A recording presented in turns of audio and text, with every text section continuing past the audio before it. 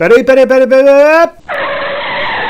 Antes de você ir para esse vídeo que você clicou, deixa eu te contar uma coisa. Quarta-feira, dia 2 de junho, a gente vai ter live aqui no canal Nós da Questão. Qual é o tema?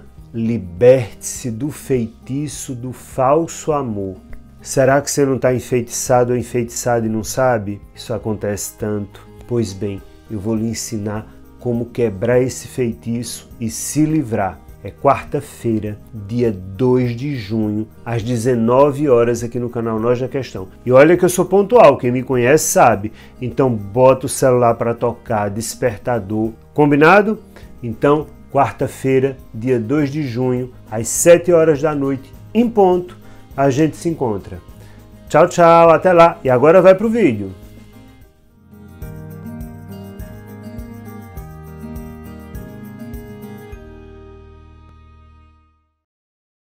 O outro foi embora, jogou fora o relacionamento e destruiu os seus sonhos. E disso tudo, você ficou só com duas coisas: a tristeza e a dor. É um sentimento horrível e sufocante que só quem já passou por uma separação conhece. É algo tão intenso que a gente chega a pensar que não vai aguentar ou de que assim nunca vai passar. Para, bebê! Fica aqui comigo que eu vou te mostrar algumas formas de sobreviver a uma separação. Eu sou Marcos Lacerda, psicólogo, e esse é mais um Nós da Questão. Vamos junto!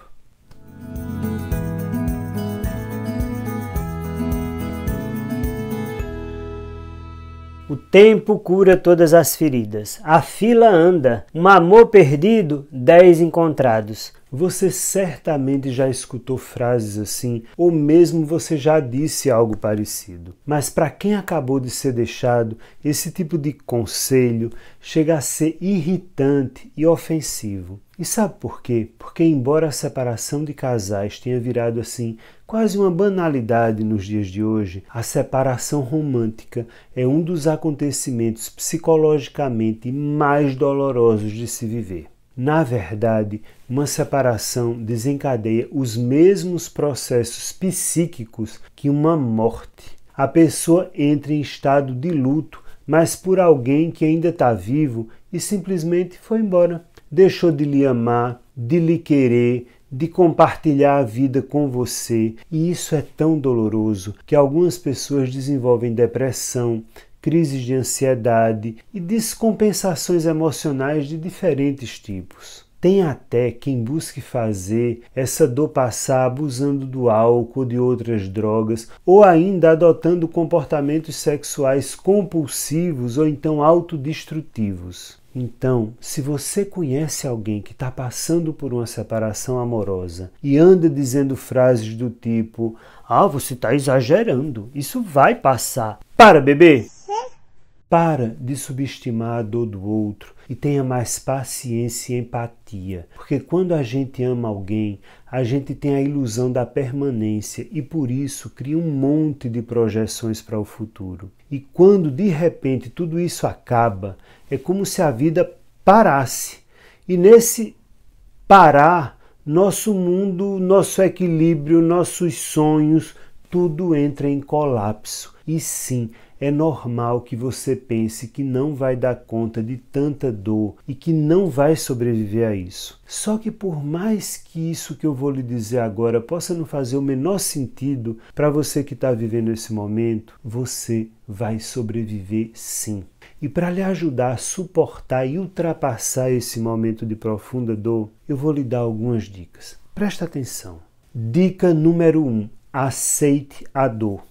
Aceitar a sua dor não significa gostar do que você está sentindo. Significa não negar nem brigar com o seu sentimento, nem tentar fazê-lo não existir, se criticando por sentir tristeza, raiva, angústia, culpa, ou então pensamentos que se repetem, se repetem, se repetem, se repetem. Entenda que durante uma separação você vai ficar assim, cheio de emoções negativas e acredite, isso é normal. Por isso, acolha e respeite essa avalanche de emoções desagradáveis que estão assim tomando seu peito e sua cabeça. Lembre-se, você está de luto por um morto-vivo e aceitar o fato de que as coisas não vão ficar bem por um tempo é muito importante. Um comportamento bem normal para quem está vivendo esse momento é se encher de atividades, saídas, festas e amigos para não ter tempo de pensar no que está acontecendo. Por um lado, isso é mesmo bom,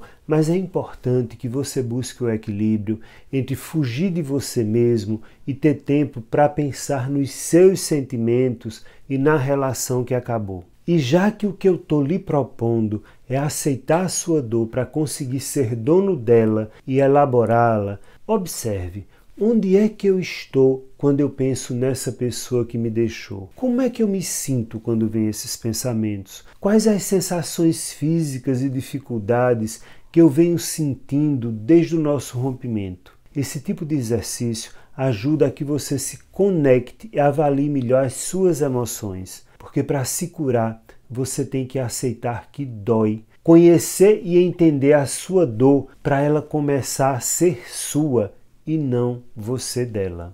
Dica número 2: dê-se o direito de lamentar. Como diria Lulu Santos, ainda vai levar um tempo para fechar o que feriu por dentro, e é natural que seja assim, tanto para você quanto para mim.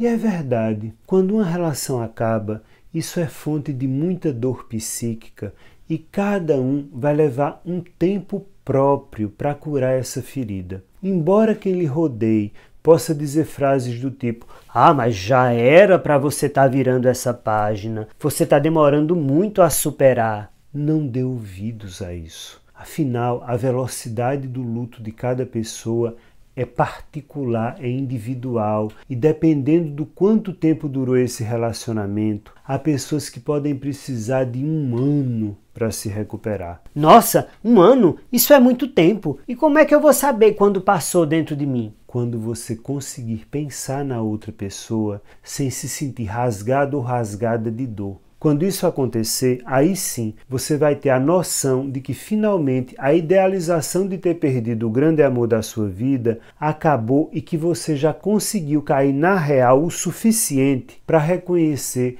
tudo o que a relação lhe trazia de bom, mas também o que ela lhe roubava, porque roubava muita coisa. Mas eu comecei essa dica número 2 dizendo que você precisava se dar o direito de lamentar a perda, e isso é mesmo muito importante. Então, o problema é que em um primeiro momento, as pessoas mais próximas até vão estar disponíveis para lhe ouvir. Mas depois de algumas semanas, a menos que você tenha um psicólogo que lhe acompanhe, se você continuar desabafando com os amigos, você vai começar a ser visto como uma pessoa chata ou problemática. Então, a minha proposta é que você se dê sim o direito de lamentar. E sabe como fazer isso? Escrevendo cartas para a pessoa que lhe deixou. Você não precisa nem vai enviar essas cartas, mas como a gente pensa por imagem, para conseguir escrever suas lamentações, você precisa obrigatoriamente fazer uma tradução para os símbolos escritos. É como se você obrigasse a sua mente a colocar as coisas em ordem, ou seja, lamentar-se por escrito vai ajudar a sua cabeça a elaborar e a sobreviver a essa perda. Além disso, esse tipo de desabafo acaba se tornando um ritual de encerramento, como quem estivesse escrevendo a última ou então as últimas páginas de uma novela. Por mais estranho que pareça, se lamentar numa certa medida é uma forma mais calma de dizer adeus. Dica número 3: administre a falta que o outro lhe faz.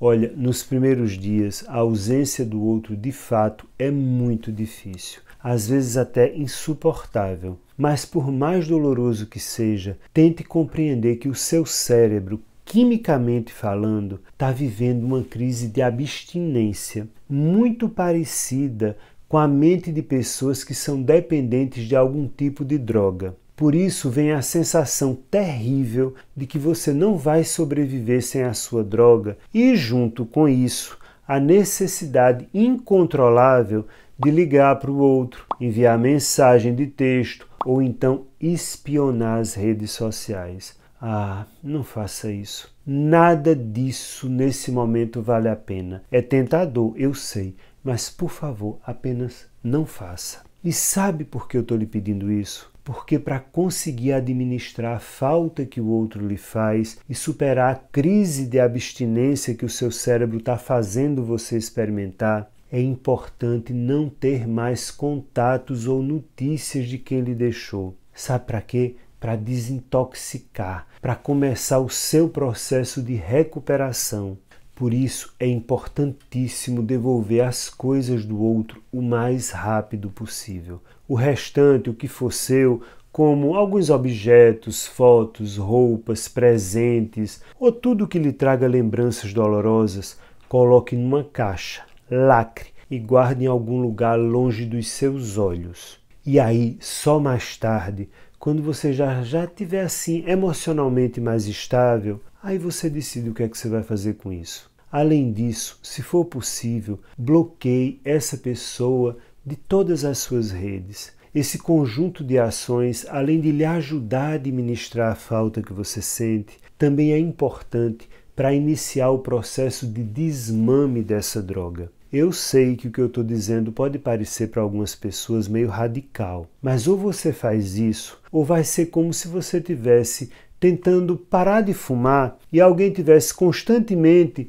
entregando cigarros a você ou então fumando na sua frente. Depois de um tempo, você vai ceder e aí você vai voltar a fumar. Tenha sempre uma coisa em mente. Quem mantém contato logo depois de um rompimento leva muito mais tempo para superar o sofrimento. Dica número 4: descubra o que não deu certo na relação.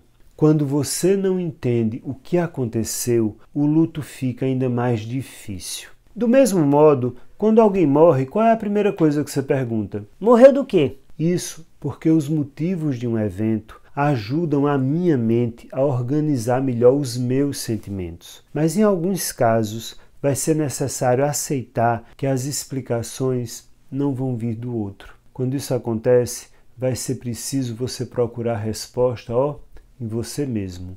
Muitas vezes, quando um relacionamento termina, a gente tende a idealizá-lo como perfeito. Mas pense comigo, se acabou é porque não estava dando certo e perfeição estava assim bem longe de existir. Então comece se perguntando: o que estava errado e quem ou o que fez essa relação acabar? Ou então, o que nos ligou quando a gente se conheceu? Ou ainda, no que é que a gente mudou com o passar do tempo? Às vezes, ao se fazer perguntas sobre os motivos e a forma como vocês se relacionavam, você acaba percebendo que o seu relacionamento já estava indo mal ó, há muito tempo e que ao invés de muito amor, o que havia era muito sofrimento envolvido e envolvendo a história de vocês. Ainda na busca de compreender o que não deu certo nessa relação, considere que muitas vezes, quando a gente se pergunta sobre os nossos fracassos românticos, a gente acaba se dando conta de que, às vezes, as nossas histórias de amor e as nossas rupturas são bem parecidas são sempre os mesmos tipos de pessoas que nos atraem, brigamos sempre pelas mesmas coisas, temos atitudes e sentimentos devastadores e exagerados que se repetem e por aí vai. Em outras palavras, você acaba um relacionamento muda o nome e a aparência da pessoa com a qual você se relaciona, mas na verdade é sempre o mesmo tipo de pessoa. Preste atenção nisso e carregue essa ideia como um aprendizado. Além disso, na busca por entender o que não deu certo nessa relação romântica, também é interessante se perguntar que crenças ou padrões de vida você repete nos seus relacionamentos. Será que você repete sempre um padrão de desconfiança, tipo as pessoas podem me trair e me decepcionar?